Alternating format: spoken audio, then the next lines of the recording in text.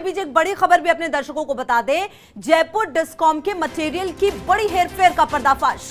एक सूचना के आधार पर बांसूर के होलावास गाँव में छापामार कार्रवाई टीम को यहाँ एक मकान में मिला भारी मात्रा में डिस्कॉम का मटेरियल दरअसल एमजी नवीन अरोड़ा ने एक सूचना के आधार पर दिए थे निर्देश।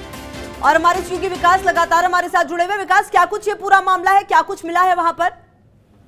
देखिए जयपुर डिस्कॉम में नवनियुक्त एमडी नवीन अरोड़ा जो है उनको एक सूचना मिली थी। सूचना के आधार पर एक बड़ी छापामार कार्रवाई की गई है। बानपुर के पास में एक ओलावास गाँव है। वहाँ पर एक छापामार कार्रवाई की गई जहाँ पर बताया गया था कि वहाँ पर एक जो मकान है उसके अंदर अवैध रूप से बिजली मटेरियल का जो सामान है डिस्कॉम का वो रखा हुआ है। और उसके बाद में जो एसपी थे विजिलेंस के दिलीप सैनी उनके निर्देशन में पूरी टीम जो गई थी चार थानों की पुलिस है वो भी वहाँ पहुँची थी। उसके बीच में वहाँ सर्च ऑपरेशन किया गया।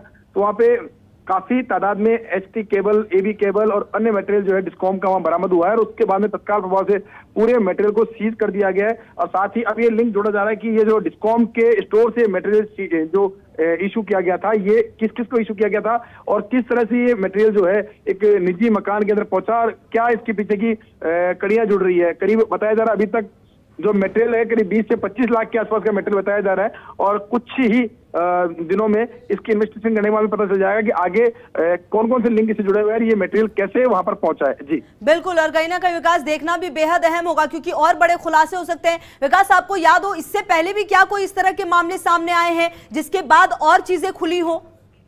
बिल्कुल ये इन्वेस्टिगेशन का पार्ट है। डिस्कॉम में एक नया प्रबंधन आया उसके बाद में इस तरह की जो सूचनाएँ हैं उनको लेकर बड़ी सख्ती जो है वो शुरू कर दी गई है।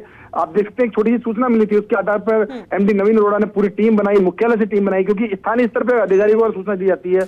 उनसे रिपोर्ट ली जाती है तो कहीं ना कहीं इस तरह के मामलों के अंदर खाना पूर्ति की की संभावना रहती है। तो ऐसे में यहाँ से मुख्यालय से टीम बना के भेजा गया और उसका परिणाम ये रहा कि बड़ी तादाद में अवैध रूप से जो संधारण किया जा रहा था जो मटेरियल का उसका खुलासा हुआ है। और अब इन्वेस्टिगेशन की जा रही है कि आखिर ये मटेरियल वहाँ क्यों पहुँचा है किस के ज़रिए ये मटेरियल को इधर उधर किया गया है। जी। बिल्कुल लगातार नज़र रहेगी। शुक्रिया विकास आपका इन तमाम जानकारियों के लिए।